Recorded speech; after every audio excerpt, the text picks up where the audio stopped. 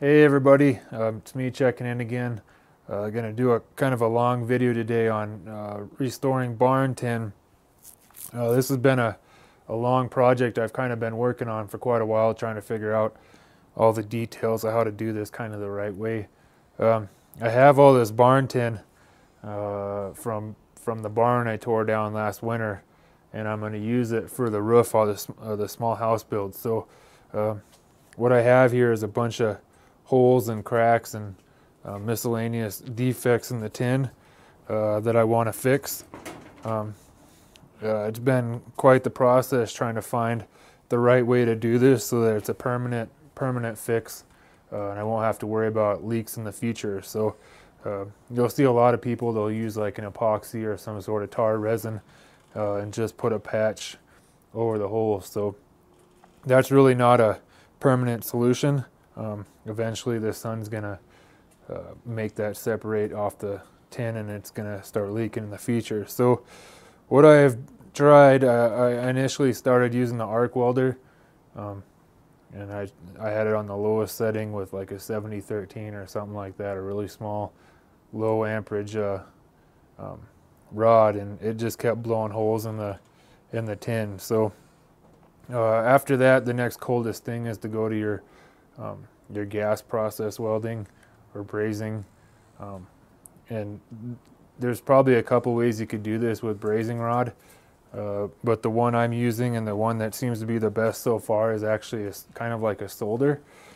Uh, and I have this product right here. Uh, it's called uh, Galviz. It's a self-galvanizing alloy rod. It looks like this. Um, if you look at the videos, uh, there's a bunch of videos on YouTube um, back in the, the early 50s and 60s, uh, before Bondo came out, a lot of the car fabricators, they would use a lead solder to, uh, to patch holes. Uh, and that's kind of where this comes from, except for this is the modern day version. Uh, this is a lead free product and it's got the galvanizing in it already. So uh, that's that's kind of where this comes from. Uh, works really really well.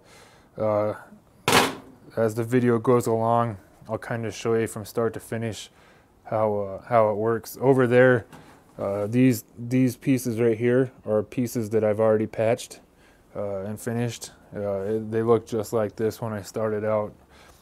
lots of holes and cracks and everything. So. I actually here I have laid out the stuff you're going to need to do this. Um, you're definitely, definitely going to need to have a respirator when you do this. Uh, whenever you uh, get galv galvanized metal hot and you actually the galvanized coating, uh, it releases a toxin that's actually poisonous to people and make you really sick. Um, I'm not sure what all the symptoms are, but I know for sure you get a headache. It's not good. Uh, so you'll want a respirator. This one right here is a Miller. I got it from the welding store. Uh, it's really, really good. Um, you're probably going to want to have something to uh, to shear your tin. Uh, this one right here is a, a, pneumatic one. It runs off my air compressor. I'll show you later on how it runs. It runs pretty sweet. Uh, obviously your galvanizing rod. You're going to need some heavy duty cutters to cut the rod. Uh, I'm not using very much. If you watch the videos of the guys that are uh, doing lead it's actually called leading when they lead the body. They'll they'll heat the surface and then they'll heat the the lead rod and they'll push it into the hole. Well, th this doesn't require that much because when you heat the rod, it'll actually um, soften the, the rod up to like right here. So you end up putting a huge old chunk of metal in there and you don't need that much. So what I do is I just take my, my cutters and I, I chop off a piece, the small piece for what I need. Um, Another thing that I found to be really, really helpful on this particular kind of tin, again, this is old barn tin. This probably, this is, I know for sure this is over 100 years old. Uh, I used a, a, ball peen hammer to, to push out the centers. Uh, I also I also come in from the backside and I pop these um, nail holes flush. It makes it a little bit easier to grind them uh, to get because you'll need a really nice uh, clean surface to solder to. So I, I used the ball peen hammer uh, to do that and get it nice and clean. uh, for the cleaning process, I actually use two different tools. Um, I use this DeWalt. Uh, it's got a it's got a sandpaper head on it right now. This one kind of this one doesn't rough up the metal that ver- that much, but it does take the galvanized finish off, so it'll get me down to the tin. Um, I, I, tried two different heads on it. I found that that one works better uh, with this uneven surface because you're able to push on it hard and get it down into some of the cracks that something like this won't work. Okay, and the next thing that I have here is uh, this is just a drill. It's actually a, a hammer drill. You can you can change the settings. Uh, I'm used. It doesn't really matter what drill you use. I just I'm using this one because it's cord. It's a cord operated one, so I don't have to keep changing batteries. But what I'm using in this drill that's important is this this bit right here. And if I'm not mistaken, this is a reamer bit. Uh, it could be called something different, but it works really, really well uh, for doing the really tight areas that you can't hit with this. So you're able to get pretty much any angle you need out of the tin. You can file it off. And uh, later on in the video, I'll kind of show you uh, me running that and how it works and how to how, the kind of area that I get clean. Another thing that I use is uh, some welding magnets. Um, I use this on the back side of the hole uh, with another piece of metal to run a patch basically. So magnets are good. These are some really cheap ones from Harbor Freight. They're not worth buying by the way. Um, I'm pretty disappointed with them, but I mean they were cheap, so I've been burning them and running them through the mill. They're, they're, they'll work for what I'm doing. But what I'm to do at this point is uh, I need to chop this tin to length. So I'll go ahead and stop the video here and then set up kind of a time lapse, show you how I'm measuring it and cutting it and running the running the pneumatic tin shears and all that stuff. So I'll stop here and resume with the time lapse. All right, so I'm getting ready to do this cut and I just realized there's a couple other things I forgot to mention that you're gonna need.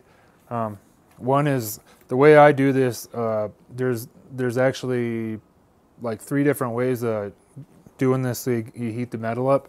Uh, there's acetylene welding, which is acetylene and oxygen, and you run a you run a brazing tip, and then there's propane and oxygen, and then you run a propane brazing tip, and then there's this. This is just a, your your run-of-the-mill propane propane heater, uh, and there's actually a there's a there's a brazing tip that you can run straight off of a like an acetylene bottle that'd work too. Um, the temperature for this Galviz is 600 degrees. That's what you're aiming for.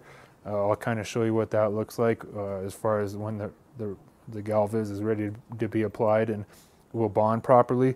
So you'll need you'll need some sort of torch. Uh, you can you can kind of go about it however you want. Uh, this seems to work just fine for me. Uh, and the other thing I'm using is this right here. It's a spray galv. Uh, it's a galvanized coating. So sometimes when I go and I when I do my galvanized patch, uh, it ruins some of the galvanized coating on the outs outside area of the patch, and I'll go back in with this uh, and do a do a spray over it. Now, this particular can, uh, I got this at a welding store. Um, you can see it's 10.90 a, a, bottle, so it's kind of spendy. Uh, the official word isn't out on how well it works. So you'll probably want something like this to seal the galvanized coating. And one thing I didn't mention about the Galviz uh, is they at the welding store they sold it at uh, in five pound increments. Uh, I don't know if you can buy less than five pounds. You might have to look online if you want to get less than five pounds. It has to do with the M, um, MDS, the material data sheet for shipping purposes which is a lot of stuff I don't need to talk about. But anyways, this stuff is kind of spendy. Uh, it's 29.66 a pound, so I think in total this ran me about 160 some bucks. Um, but once I get going, you'll realize that you really don't use that much. So I'll probably be able to do the whole lot of tin off of just this one container. Um, and and for the small house build, which is what I'm using this particular tin for, um, I'm I'm using the worst of the worst tin. So the stuff you see me working on today, uh, is as bad as it gets for the particular tin I have. The stuff that I still have uh, out in my, my wood storage is a lot better condition than this. So um, I'll go ahead and set you up uh, and begin the layout process. So I'm going to go ahead and cut this one out. Oh, and one other thing you need is coffee because this is a tedious process. It takes a lot of time and patience to actually get this to work. So uh, that's probably the downside to doing this is how much time it takes.